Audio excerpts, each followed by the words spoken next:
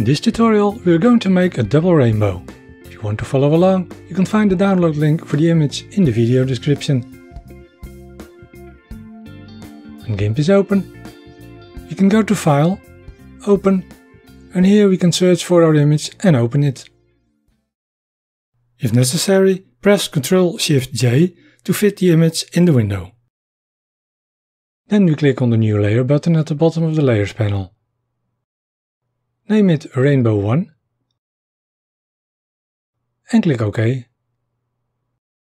Go to the toolbox and activate the Blend tool. Click on Gradient and scroll down to Rainbow Gradient and select it.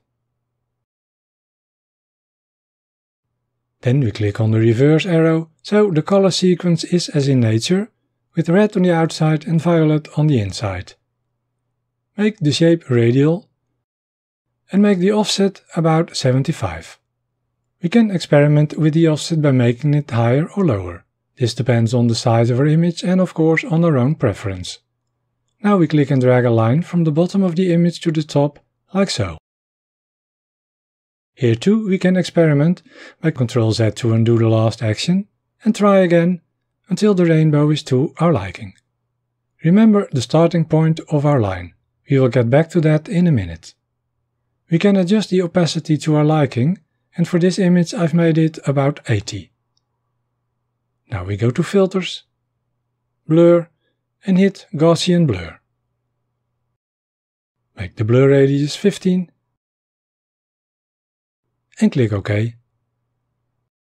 Then we click on the New Layer button again. Name this layer Rainbow 2 and click OK. Now we go back to the tool options of the blend tool and at the gradient we hit the reverse button again to change the color sequence because in nature the outer rainbow colors are also reversed. Then we click and drag a line starting at the same point as we did with the first rainbow but we drag it out a bit further upwards. Both rainbows should be parallel to each other. Use Ctrl Z to try again if necessary go to Filters again and click on Repeat Gaussian Blur. Make the opacity of this layer about 25. Now we activate the Eraser tool. Make the size about 500. Erase a bit on both sides of the outer rainbow, like so. Then we activate the rainbow 1 layer, and here too we erase in the same way. Make sure not to erase too much, so the rainbow still touches the trees.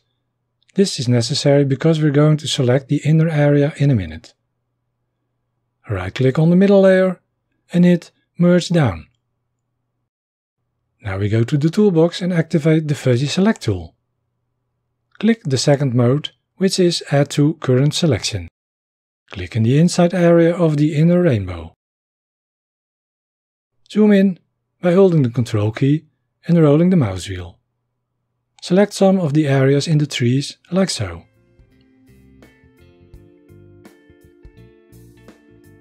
When we press and hold the mouse wheel down, we can move the image by just moving the mouse.